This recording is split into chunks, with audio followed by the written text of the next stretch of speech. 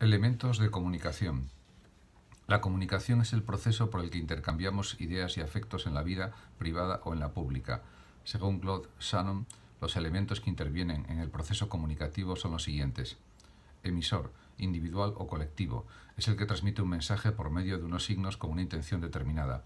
Con frecuencia utiliza el código lingüístico, palabras, aunque puede emplear otros códigos, gestual, gráfico, musical. El emisor puede usar varios códigos al mismo tiempo, como sucede en los anuncios de televisión. La transmisión del mensaje por el emisor depende de varios factores.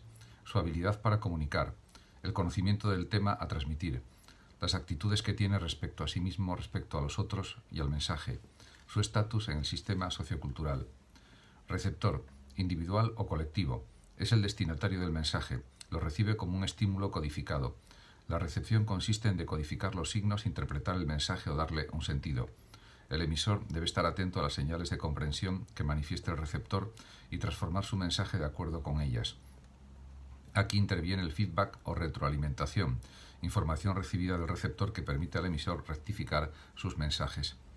Las reacciones del receptor pueden obligar al emisor a repetir un mensaje, añadir una explicación o a suspender la comunicación. Mensaje es el contenido de información que el emisor quiere comunicar al receptor. La comunicación puede realizarse de forma gestual, verbal, visual, audiovisual, etc. La comunicación se logra si los comunicantes establecen una equivalencia entre las señales percibidas, palabras y las significaciones que atribuyen. Código. Es el conjunto de signos, palabras, gestos, sonidos, imágenes que utilizamos. El emisor y el receptor deben conocer y manejar el mismo código para que los signos adquieran un significado, ya que si no lo hacen la comunicación se torna imposible. El número de signos es limitado en todo código, pero las operaciones posibles pueden ser finitas o infinitas. Los códigos pueden ser elementales como el código del semáforo, tres colores o complejos como el código lingüístico. Canal. Es el medio a través del cual se transmite el mensaje. Hay canales naturales, diálogo de persona a persona, los interlocutores codifican su pensamiento en un código natural llamado idioma, y canales artificiales, televisión, Internet, artefactos transportadores de mensajes. Además, en toda comunicación hay que tener presente contexto, se refiere a la situación en que se desarrolla la comunicación y que contribuye a su correcta interpretación.